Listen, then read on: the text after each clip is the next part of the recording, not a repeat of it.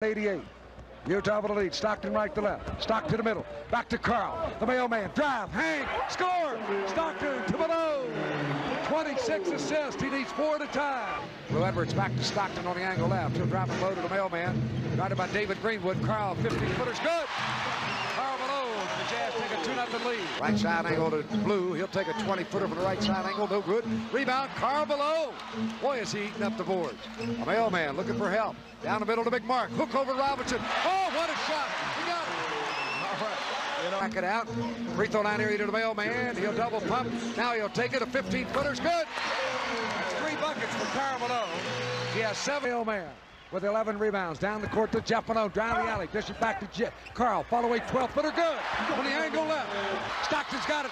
They'll never catch him. He'll go to Karl for the dunk. The mailman hammers it in. John Stockton, very unselfish. And Stock now with the